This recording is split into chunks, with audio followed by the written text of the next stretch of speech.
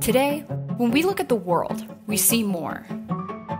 More opportunity for progress, more potential for connection, more possibility to build up, tear down, reconstruct, and make something altogether new. Something better. We created Hampshire College because this is how the world looks to us. And we believe in Hampshire College because the world will always look to us. To the originals, to those who know that to know is not enough. We were meant to take insight and take action, to disrupt what is and always has been, and face the Earth's revolution with an evolution all our own. We were made for change, for pushing through and moving forward when the questions are too big for simple, expected answers.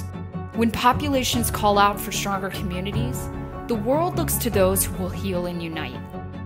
When society searches for meaning, the world looks to those who will act with knowledge and understanding.